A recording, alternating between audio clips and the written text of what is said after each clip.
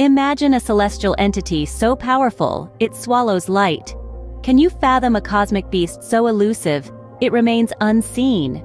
Welcome to the enigmatic world of black holes.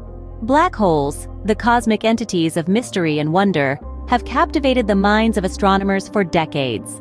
They are the universe's most secretive residents, staying hidden in the cosmic shadows.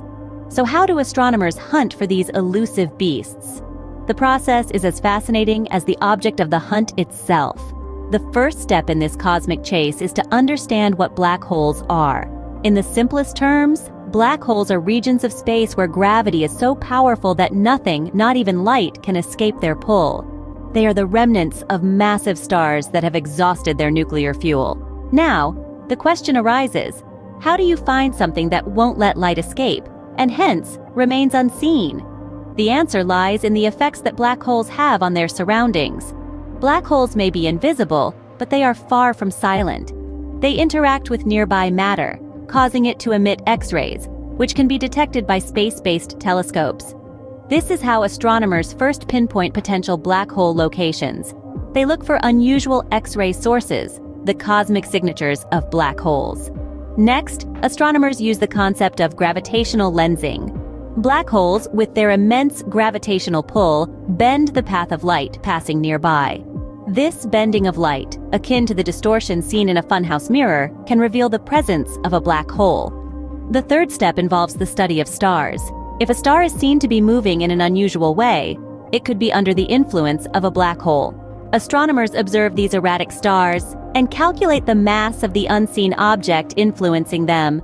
If the mass is sufficiently large, it's likely a black hole. The final clue in this cosmic detective story comes from gravitational waves.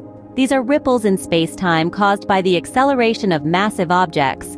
When two black holes collide, they create gravitational waves that astronomers can detect with specialized equipment. So, to summarize, the hunt for black holes is a complex process involving the detection of X-rays, the observation of gravitational lensing, the study of star movements, and the measurement of gravitational waves.